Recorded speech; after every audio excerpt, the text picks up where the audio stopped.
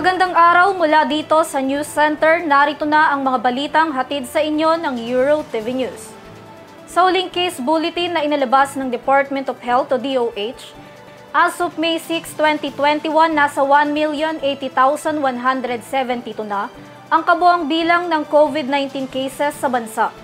63,170 ang active cases, kabilang na ang 6,637 na mga bagong kasong nadagdag ngayong araw.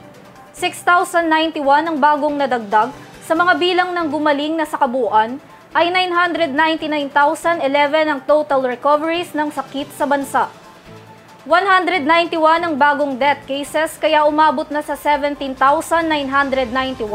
ang mga namatay sa sakit sa COVID-19. Sa mga aktibong kaso, 96.2% ang mild cases at asymptomatic, 1.2% ang critical, 1.6% ang severe at 1.03% ang moderate cases. Isang daang mga anak ng garbage collector at ancillary service unit nakatanggap ng tablet sa Davao bilang tulong sa pag-aaral ng mga ito para sa kanilang edukasyon. Sa detalye ng balitang yan, live mula sa Quezon City si Catherine Landicho. Catherine,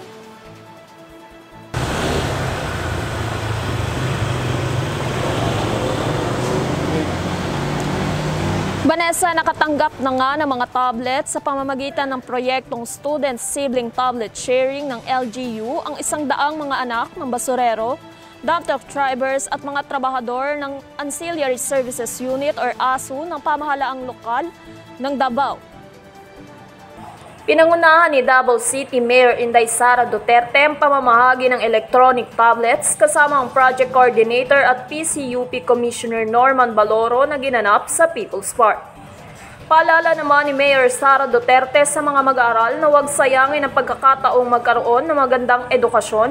Binibigyan din din ng kalagahan ng edukasyon sa pag-secure ng isang magandang kinabukasan. Ang mga tablet ay bahagi ng isang libong tablets na ibinigay ng Embassy ng People's Republic of China sa PQ. Ang tablet ay bahagi ng isang libong tablets na ibinigay ng Embassy ng People's Republic of China sa Pilipinas sa pamamagitan ng Consulate General People's Republic of China sa Davao. Para sa Euro TV News, Catherine Landicho sumasaludo sa bawat Pilipino. Salamat Catherine. Nagbabala naman si Pangulong Rodrigo Duterte sa mga individual na hindi tama at maayos ang pagsusuot ng face mask at lalabag sa mga health protocol sa bansa. Patuloy na pinaiigting ng pamahalaan ang pagsunod sa mga health and safety protocol sa bansa, partikular na ang tamang pagsusuot ng face mask na isa sa mga makakatulong sa pag-iwas sa virus. Dahil dito ay naglabas ang Pangulo ng panibagong direktiba sa Philippine National Police o PNP Naarestuhin ang sino mang hindi isusuot ng tama ang face mask. My orders to the police are those who are not wearing their mask uh, properly in order to protect the public. Kasi kung hindi, hindi mo ma dipinsahan yung publiko. Uh, to arrest them and detain them, investigate them why they are doing it. You have sa uh, nine hours. I-detain mo, tapos uh, imbestigahin mo siya kung bakit ganun ang behavior nila. Pagka hindi ko ganunin, hindi ko higpitan, walang mangyayari. Yan nga yung porko.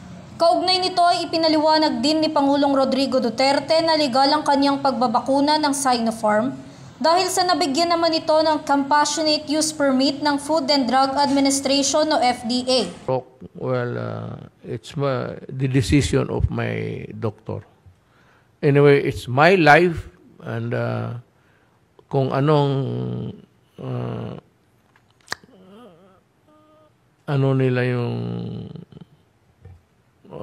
how I would I, yung concerns nila about others following just before this meeting started, I had a talk with the uh, ambassador. Sabi ko sa kanya, ang mga experts nagsabi na oh, wala pang ano ito, uh, hindi pa dumaan ng uh, examination sa atin. Ang binigay na ang compassionate use, which is really illegal excuse to have the compassionate use. To ibig sabihin, magamit mo compassionate.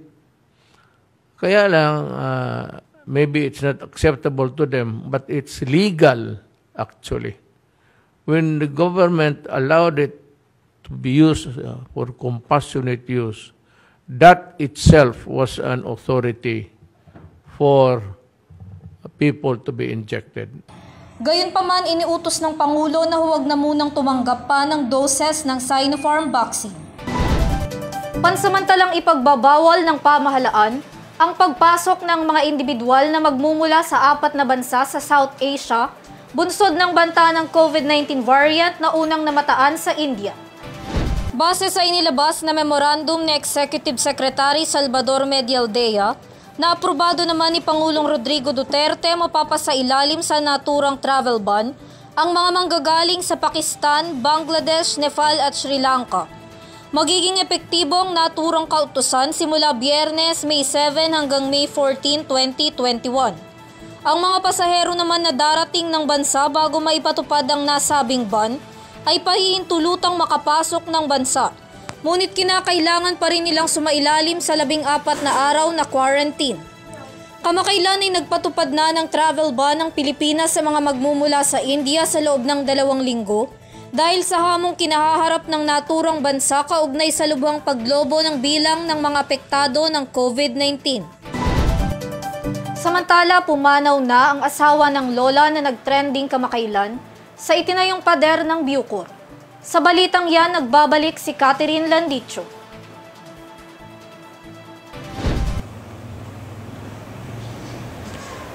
Nagtrending noon ang isang lola sa pagnanais nito na makadaan sa pader na itinayo ng Bureau of Corrections sa Access Road ng mga taga-NHA Southville 3, Muntinlupa City. Na sa ngayon ay pumanaw na ang asawa na nais lamang sanang ibili ng gamot noon. Jubil Bartolo, 65 taong gulang na nakatira sa Phase 3 Block 22, Lot 51, SB3. Ayon sa panayam kay Lola Jubil, sa mga oras na nakuhaan siya ng larawan sa naturang lugar, ay nakikiusap ito sa mga gwardya ng Bucor na siya ay makadaan upang makabili ng gamot sa bayan para sa kanyang asawa na may sakit, ngunit bigo siya na mapagbigyan ng mga ito. Sa ngayon, ang asawa ni Bartolo ay pumanaw na at ang problema ng kanilang pamilya ay ang perang pangpalibing at ipapanggastusing nila sa kanilang pangaraw-araw.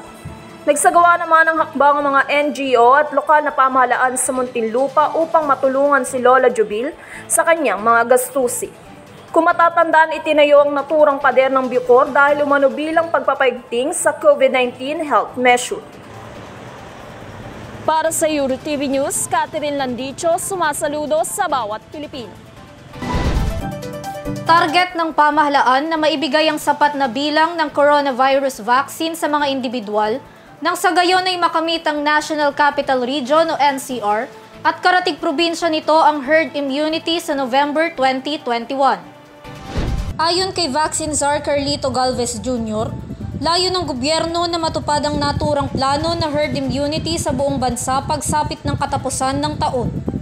Hindi naman tinukoy ng opisyal kung aling mga probinsya ang makakasama sa National Capital Region sa listahan ng target ng mga lugar para makamit ang nasabing herd immunity.